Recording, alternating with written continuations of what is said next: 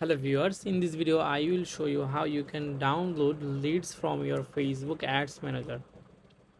Let's say you are running a facebook leads ads campaign and you can see on the results section that you got some leads on your facebook ads manager but you don't know how you can download them and contact those leads.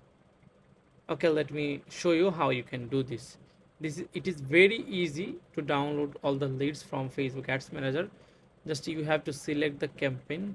Let's say this is my old campaign. I i have selected this one. Now i have to go to ads section from here. This is the campaign section and this is ad sets and this one ads section.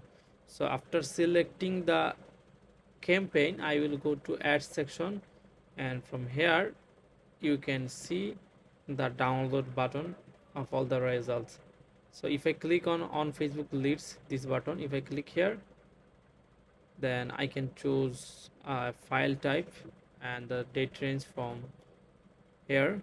So let's say i want the last 30 days then i can download this very easily. And then i can choose csv or xls file type. Then i can see all the leads. This is the uh, number one method and we can do this another way from the facebook page. So this is my facebook page uh, i mean my client facebook page. From here on the left side you can see lead centers under more tools. So if i click on lead center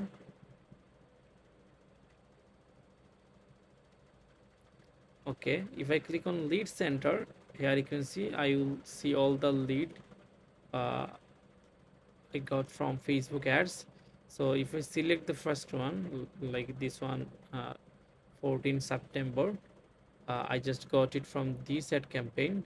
I mean the new ad campaign. If I go to here the number uh, here you can see the result. One lead from this Facebook ads carousel Facebook ads.